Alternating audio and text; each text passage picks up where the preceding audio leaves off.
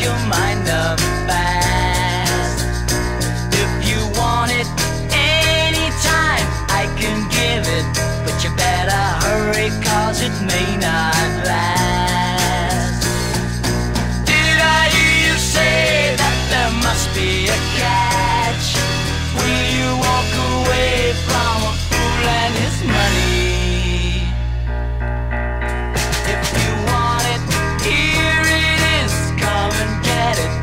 you better hurry cause it's going